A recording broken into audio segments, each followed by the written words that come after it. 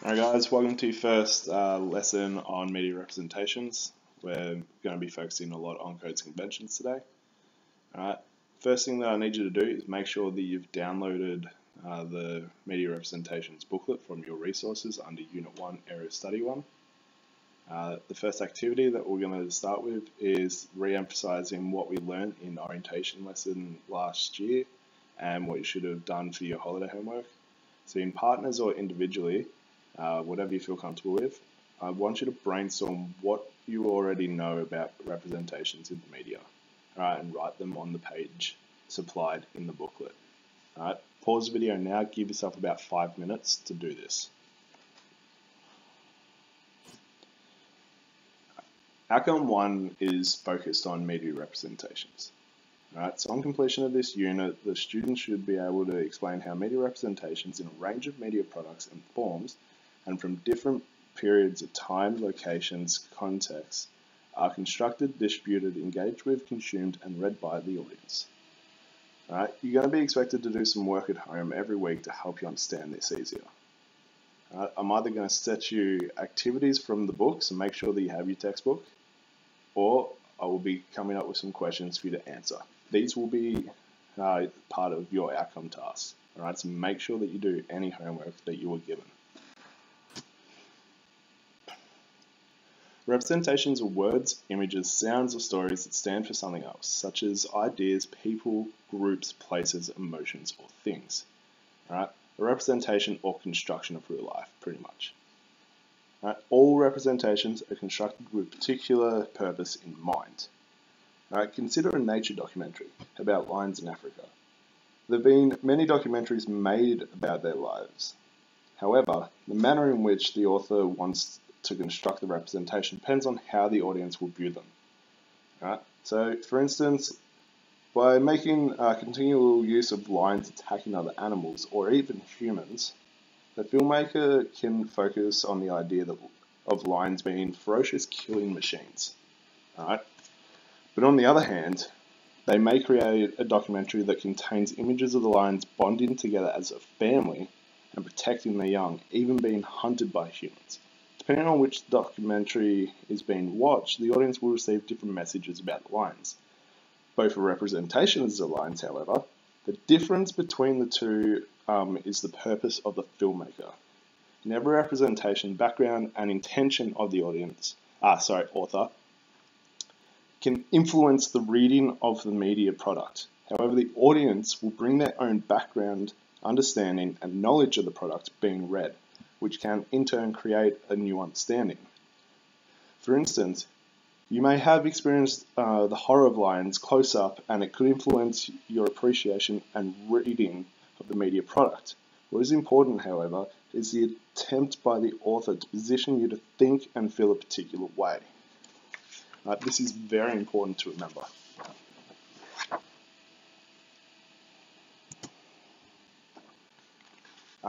So representations are constructed from the subject, the opinion and values of people creating the representation, the purpose, the opinions and values of the audience, and uh, the re reaction of the audience, and then the context of, of the society. Right? Representations are a form of shared language or understanding or discourse between the media and the audience.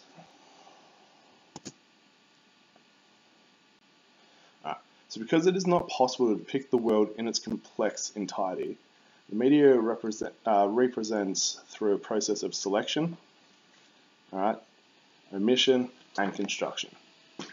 Okay, so uh, it's impossible to include everything that reality has to offer. All right, so what is left out is referred to as omission, and what is left in is the selection. For instance, if you were representing a school in one shot, it would be impossible to include the whole school in that image. Choices need to be made and information uh, to be included needs to be selected. There are certain things that could assist in immediately identifying it as a school. Alright, so the information would, um, included would depend on how the author wanted to portray, uh, portray the school. Alright. All media texts are constructed. As they're being constructed, important decisions are made about how the subject uh, will be represented. Right? When it comes to photography, for instance, there are a number of important decisions about how the subjects will be represented. Uh, this includes lighting, camera angle, shot size, visual composition, color, even the posture and facial expressions of the subject. Uh, think about all of the Instagram models that are out there. They post one photo, but they would have taken hundreds before they came down to that one photo, right? Because they kept on making decisions about what they wanted to keep in, so select, and when they wanted to keep it out or omission, all right? So, all of these decisions influence the way people uh, will read the photograph. Although this is a simple example, all media texts go through this process of construction. As a result, media texts often reflect the views and values of those who create them and the society in which they were created. Right? These are known as ideologies.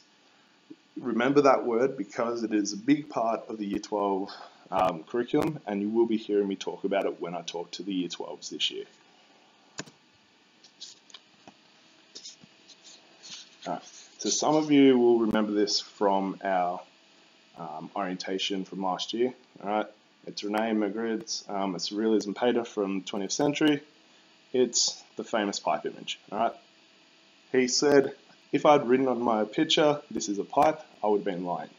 The reason why he's saying this is it's his representation of the pipe. All right. So when translated into English, it means this is not a pipe. All right. So what is it if it's not a pipe? It's his representation. It's how he sees this pipe. All right. This is how he wants audiences to see the pipe. It's not actually a pipe. I cannot go out and grab that pipe with my hands. All right. It is a picture of a pipe. Therefore, it's representation of that pipe. All right. So the media attempts to create a believable version of reality. If it is not believable, you wouldn't accept it. The media relies on what um, has been termed your willing suspension of disbelief. Uh, this is, you know it's a film or television show, but you go along with the illusion. Think of any uh, reality TV show that you've ever watched.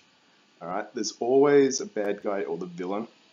We know now that it is up to the uh, producers to choose who they want to be the villain, and they work at it and work at it. But we still hate that person, All right, We don't know them.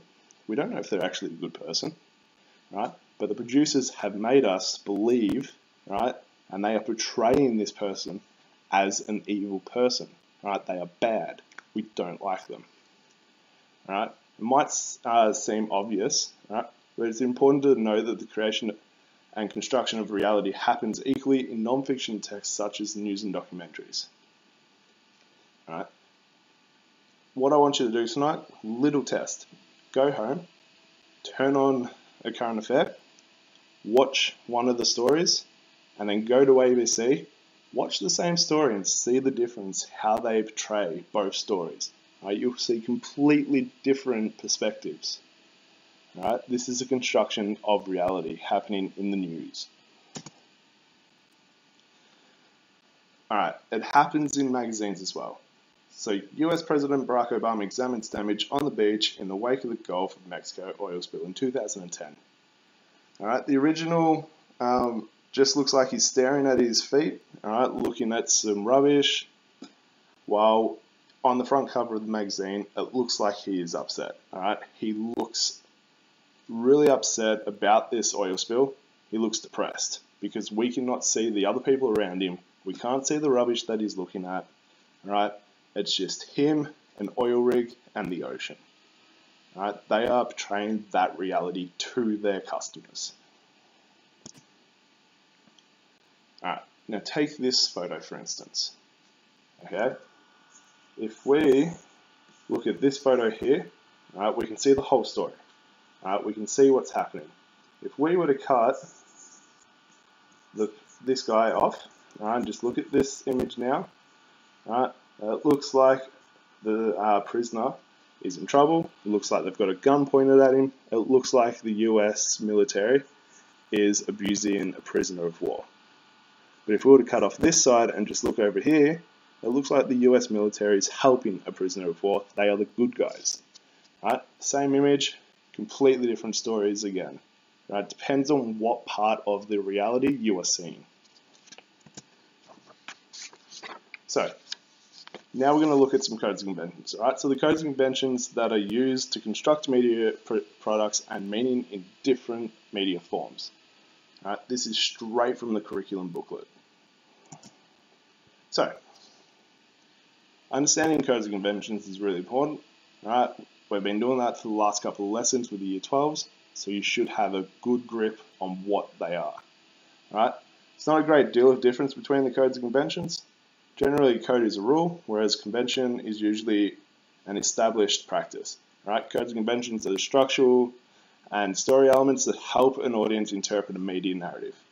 In VCE media, codes can be seen as technical elements such as lighting, sound, and camera. Right, so we know that as CAMELS.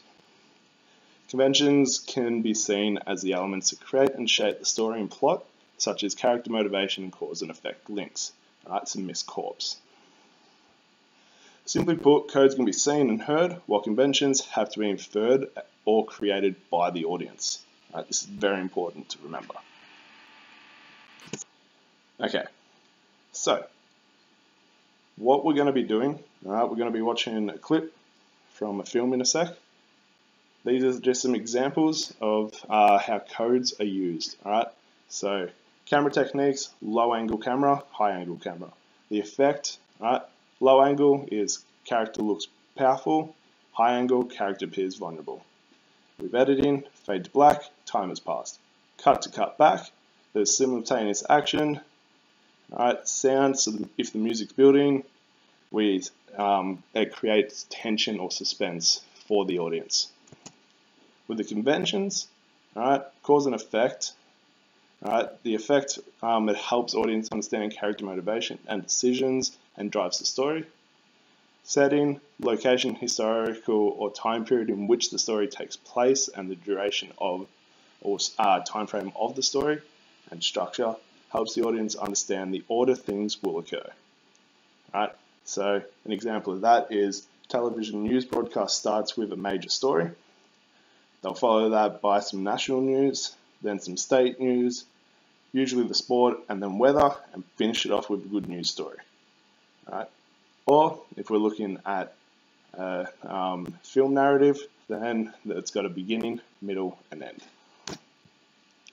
All right, so in your uh, representation booklet, right, there's a table. What I want you to do is I want you to come up with at least three codes and at least three conventions and write the effects and meaning or meanings of it after watching Rob Reiner's uh, 1990 Misery clip.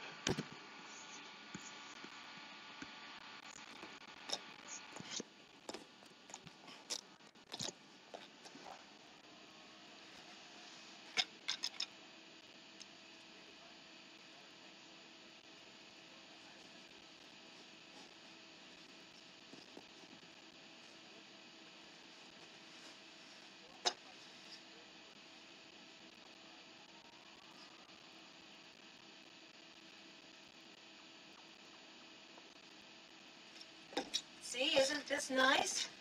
Great. I always wanted to visit the other side of the room. Ooh, and look what I got for you. Oh, an electric razor. So you can shave yourself now. If I knew this was going to be the surprise, I'd have burned all my books. Now, don't poke fun. This is a very big day for you, Paul. You just sit tight and I'll set everything up.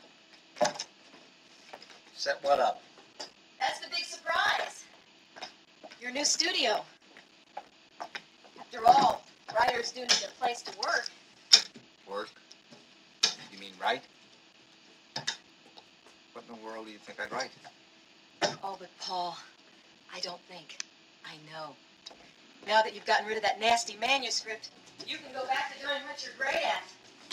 You're going to write a new novel. Your greatest achievement ever. Misery's Return. Misery's Return?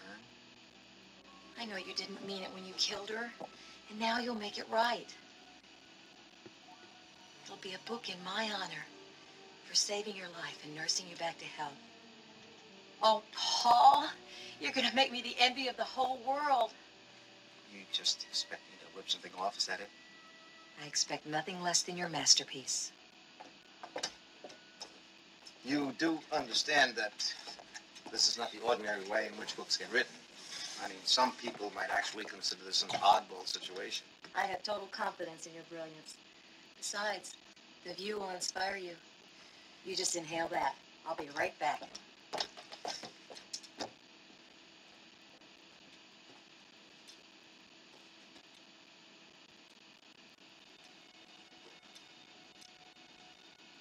I guess you don't get bothered by neighbors much. Don't you worry about that. Concentrate on your work. Great.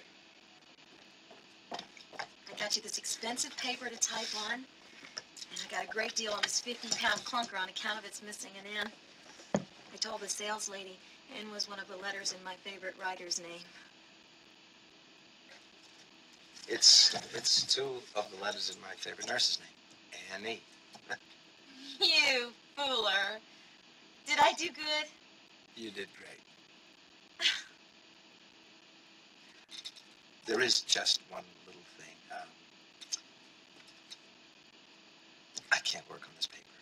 See, it's Corrasable bond. It smudges. So I thought maybe if you went back into town, you could bring me some white long-grade Mimeo. But mine cost the most. So I don't see how it can smudge. Come here, I'll show you.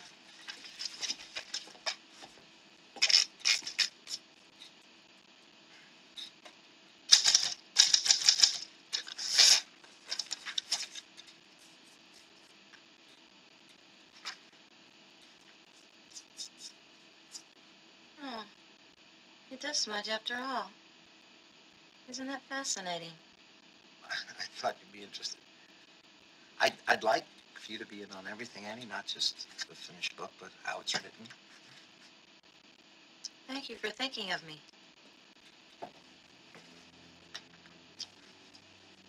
Anything else I can get while I'm in town?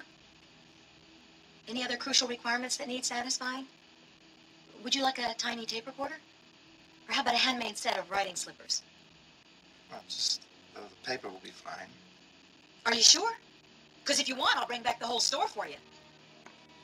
Annie, what, what's the matter? What's the matter?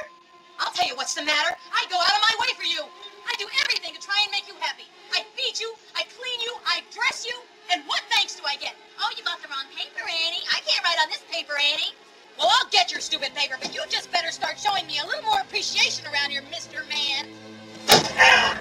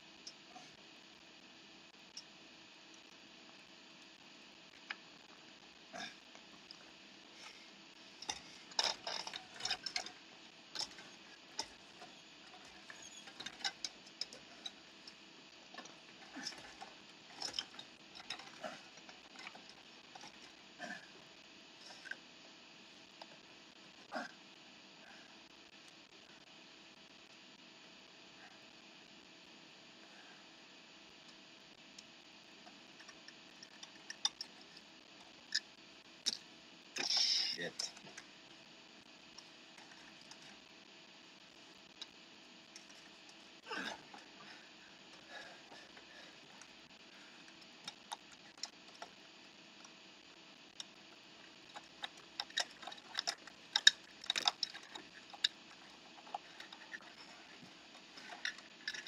Come on, like this, not the words.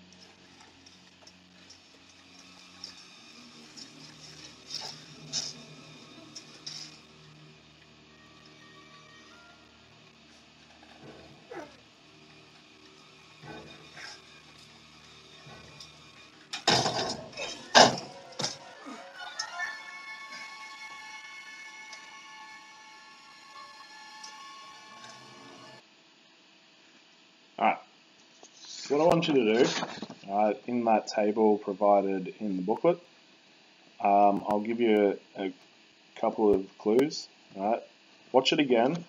Look at the camera angles that they're using. Right, look at the sort of sound that is being used, and what sort of editing is being used.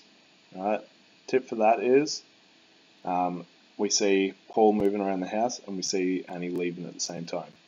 Alright, so that's your tip for that. Conventions, I want you to look at the setting, alright, the cause and effect, and whose point of view are we looking in. Right? in the second column, in the effect or meaning column, I want you to write at least two sentences for each. Right? use the example in the previous slides, right, to help you out. Alright, so watch it as many times as you need. Alright, do it the best that you can. Okay, so that's the end of this lesson. Alright, the terminology that we've gone through, which I want you to start putting in the back of your book or somewhere so you have a glossary of terms right, to help you remember. Uh, codes and conventions. Alright, so the codes are technical, written, or symbolic codes used by the author to create representations Conventions, um, when media codes are used in ways that help an audience understand a representation. Right? Then we have representations themselves, so the ways in which the media portrays particular groups, communities, um, experiences, ideas, or topics uh, from a particular ideological or value perspective. Then we have selection, so what was chosen to be included omission, what was chosen to be excluded, and then construction, so the making of that representation and the media product.